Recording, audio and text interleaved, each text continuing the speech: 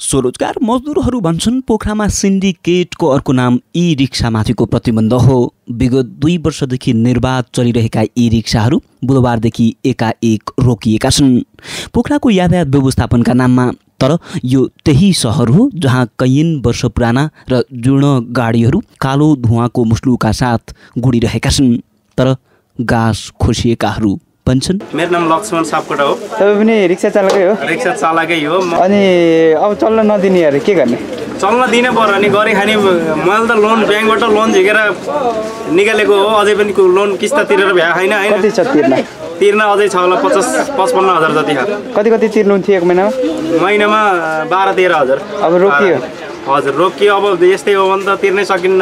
हजारौँको सङ्ख्यामा पोखरामा नगरका बसहरू छन् लाखौँको सङ्ख्यामा निजी सवारीका साधनहरू गोड्छन् साना सवारीको सङ्ख्या पनि उत्तिकै छ।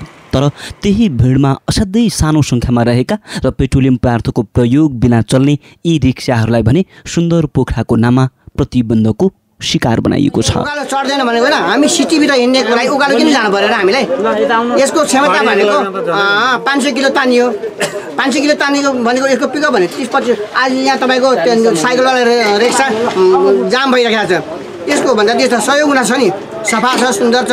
त्यो रिक्सा साइकलवाला रिक्साले पानी तानी गरेको छ। त्यसको त्यो प्रदूषण हो नि। त्यसले हो खास बजारको सुन्दरता बिगार्ने। यसले त एकदम सफा सु- सुन्दर छ। यसलाई कुनै किसिमको छैन। पोखरामा चल्न सक्छ? पोखरा बिल्कुल चल्न सक्छ। गण्डकी अञ्चल यातायात कार्यले ई रिक्साका लागि लाइसेन्स र दर्ता दुवै दिएको छैन। तर पेट पाल्ने विकल्प खोज्नेहरूले भेरी र नारायणी अञ्चल यातायात कार्यालयबाट आवश्यक प्रक्रिया पुरा गरी निजी प्रायोजनका लागि पोखरामा ई रिक्साहरू सञ्चालन गरिरहेका छन्। तर एकाएक मुखको माड रोकिने अवस्था आएपछि मजदुरहरू चिन्तामा परेका छन्। म म पनि यो ई रिक्सा चालक हुँ र मेरो बङ्गुर फार्म छ म म बङ्गुर दाना उठाउने काम गर्छु म। कहाँ छ बङ्गुर फार्म? मेरो सिम्पनीमा छ। कति छन् बङ्गुर बङ्गुर कम्ती चालिसवटा छ मेरो। आज रिक्सा चलेन? चलेर कसरी उठाउनु भयो दाना? दाना उठाउने साधनै छैन। मेरो बङ्गुरहरू भोकै छन्। दाना उठाउन पाएन यो प्रतिबन्धले आज भोकै छन् बङ्गुरहरू भोकै छैन। के?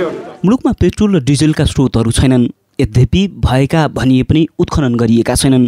नेपालले इन्धनको आड सदैव भारतको काँधमा लगाइरहनु परेको छ। विगतमा पटक पटकका धोका र घातले भरिएका भारतीय व्यवहारले नेपाली मन दुखेको छ। तर इन्धनको विकल्पमा धुवानीको उपयुक्त साधनका रूपमा हेरिएको ई रिक्सालाई उपेक्षा गरिएको प्रति मजदुरहरूको मन असाध्यै कुँडिएको छ।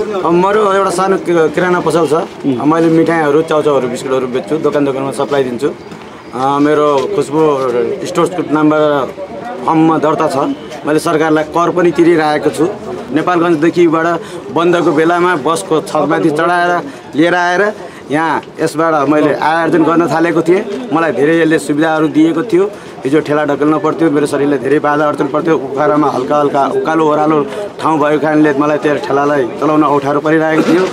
त्यस कारणले यो गाडीबाट मैले अहिले लाभ लिइरहेको थिएँ। तर अहिले आएर प्रशासनले यातायातले यो गाडीलाई प्रतिबन्धित गरायो। के हामीले गरेर खान हुँदैन? यो निजी सवारी हो। तर यही चैत तिन गते यातायात व्यवस्थापन समिति कास्कीका अध्यक्ष एवं प्रमुख जिल्ला अधिकारी हरिप्रसाद मैनालीको अध्यक्षतामा बसेको बैठकले पोखरामा ई रिक्सालाई पूर्णतया निषेध गर्ने निर्णय गरेको थियो। पोखरामा अनियन्त्रित रूपमा थपिँदै गएको सवारीको चापका कारण थप चुनौतीहरू बढेको भन्दै उक्त बैठकको निर्णय नम्बर सातमा ई रिक्सालाई पूर्णत निषेध गर्ने निर्णय गरिएको छ। तर यी रिक्सावालाहरूले भने यसका विरुद्धमा अदालत जाने चेतावनी दिएका छन्। अब के गर्ने भन्ने कुरो अब भोलि मुद्दा हारौँ हेरौँ फसेला त्यसपछि अनि सोचौँ अदालत जाने? जाने एकदम। कस्तो छ कमाइ यसमा? कमाइ भन्नाले छोराछोरी खाना बिहान बेलुका पुगे मेरो विचार के छ भने यो रिक्सा बेचेर मुद्दा लड्नेसम्म लगानी लगाइन्छ। तपाईँ पनि रिक्सा चालकै हो? हजुर रिक्सा चलाउँछ। तरकारी व्यापार गर्छ। पहिला ठेलामा व्यापार गर्थ्यो। ठेला बन्द गरिदियो। अब कति बढी मुस्किलले यो रिक्सा किन्यो तिन लाख पर्यो।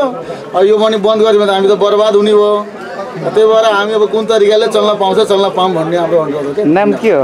कमल जेसवाल। अहिले पोखरामा करिब चालिसवटा ई रिक्साहरू रहेका अनुमान गरिएको छ। यसको निश्चितका कारण करोडौँका ई रिक्साहरू थन्किएका छन् भने चालिसजना बेरोजगार र उनीहरूका आश्रित परिवारको गाँस खोसिएको छ। तर उनीहरू भनिरहेछन् गरी खान पाउने हाम्रो नैसर्गिक अधिकार हो। नमस्कार देवी प्रसाद पौडेल। मैले अरू केही चाहन्न। हामीलाई दस बजेसम्म आउन दिनुहोस् र हामी फलफुल तरकारी बेचिन्छ त्यही गरेर खाइन्छ त्यही गरेर दिनुहोस् जानकारी हामीलाई हामीलाई गरी खान दिनुहोस्। त्यही छ मेरो। गरी खान पाउनु पर्यो।